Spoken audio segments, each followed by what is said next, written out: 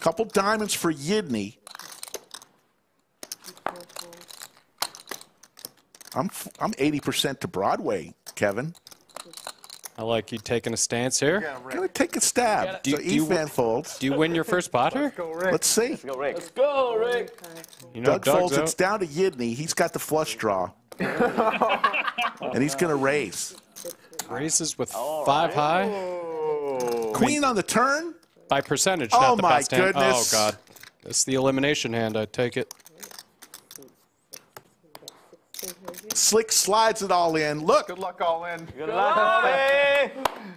Here, call. Here, makes the call, and I'm drawing dead. oh, My God. That's just so brutal, though. Like you I wouldn't expect call for the gut shot, you hit the gut shot, and it's just no good.